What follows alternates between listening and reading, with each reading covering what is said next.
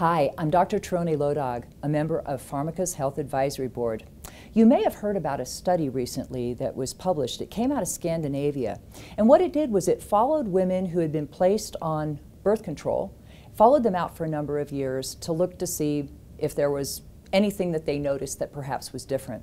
Surprisingly to the researchers, there was a very strong connection between women going on birth control and the development of depression. Many women, especially younger women, ended up taking prescription antidepressants after they had started birth control.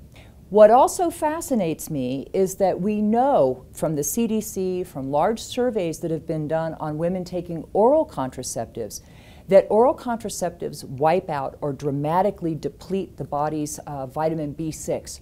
Now, B6 is very important for, the, for, for your mood um, and for preventing depression, and, and low, low uh, symptoms of low B6 can be irritability, uh, depressed mood, uh, poor sleep, etc. You need vitamin B6 to be able to make serotonin, to be able to make melatonin, things that are associated with mood and sleep.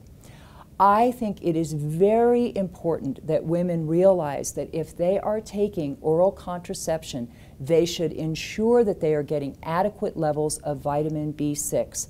Um, how much do you need? Probably 6 milligrams up to 20 milligrams is a good range. Uh, B6 is a very safe uh, vitamin. We do have an upper limit set at 100 milligrams per day. We don't like you to go over that. That's really kind of the upper limit. But if you're in that 6 to 20 milligram range, you're going to be fine.